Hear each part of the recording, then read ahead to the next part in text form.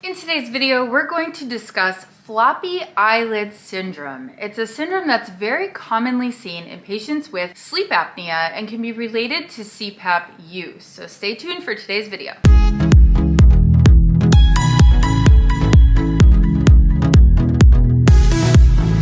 I'm Dr. D. I'm an optometrist and dry eye specialist making videos for you about the intersection of eye health and eye beauty so you can have healthy, beautiful, comfortable eyes. Make sure to subscribe to the channel down below right here so you never miss a video. I do post weekly. In my last video, I talked at length about the effect of CPAP machines and eye health and dry eye. And I wanted to make an additional video about floppy eyelid syndrome. Now I mentioned it in the last video, but today's video is all about floppy eyelids because we can't talk about CPAP and eyes and eye health without discussing eyelid laxity and sleep apnea and the relationship there. So as I first talked about in that video last week, sleep apnea is a potentially serious sleep disorder in which breathing repeatedly stops and starts, and CPAP machines are often prescribed to help patients. Now these CPAP machines, due to airflow, can cause dry eye syndrome, and they're more prone to do so in these patients who have sleep apnea and floppy eyelid syndrome, although it can cause dry eye in any patient with sleep apnea that uses a, CPAP, I mean, honestly. Floppy eyelid syndrome just creates an environment where it's more likely that you'll have dry eye symptoms. So what is floppy eyelid syndrome? So it's an underdiagnosed, frequently bilateral, meaning both eyes are affected, malposition of the lids. They're not positioned appropriately and they're not quite as tight as they should be. It commonly is gonna involve the upper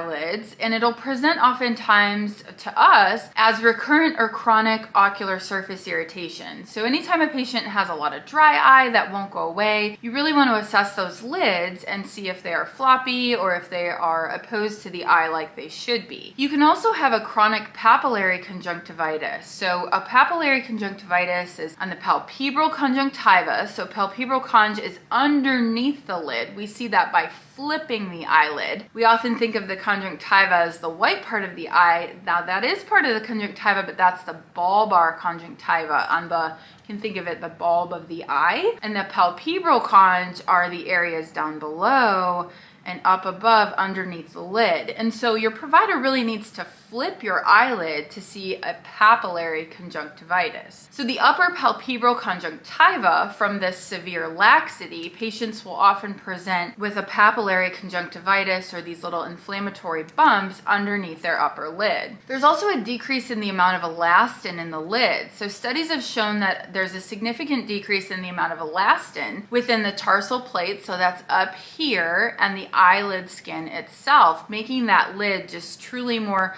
like you can pull it away from the eye and it kind of tense up. That's how floppy these lids can be. The mechanism is that it's probably induced by repeated mechanical stress. So that can be from eye rubbing or even just like sleeping habits, sleeping on a particular side all the time or sleeping directly on your eyes. There is a significant correlation between obstructive sleep apnea severity and floppy eyelid syndrome, even after adjusting the studies for age, sex, and body mass index. And results suggest that severe obstructive sleep apnea is an risk factor for floppy eyelid syndrome, meaning there is absolutely a connection.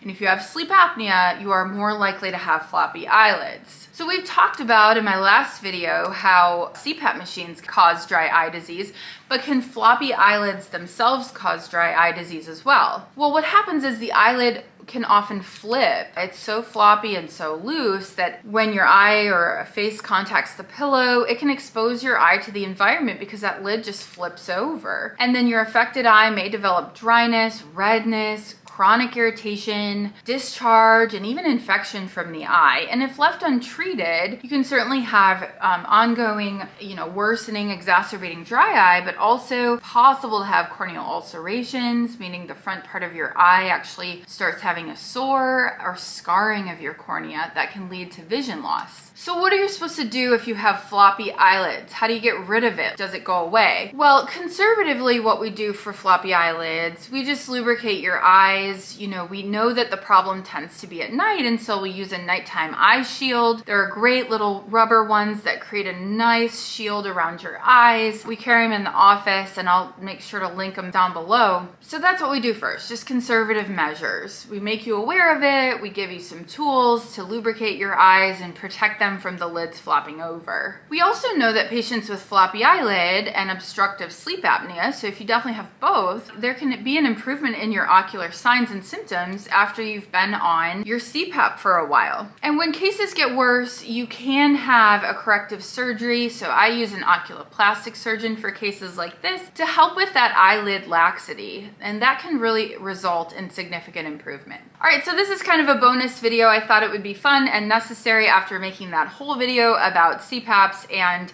dry eye disease. So I hope you enjoyed learning just a little bit more about floppy eyelids. Definitely let me know in the comments down below if you have floppy eyelid syndrome, what has helped for you? If you have any tips and tricks for others watching this channel, I'd love to see that as well. Thanks as always for watching. That's gonna be it for today's Eye School lesson. Class is dismissed and I'll see you next time.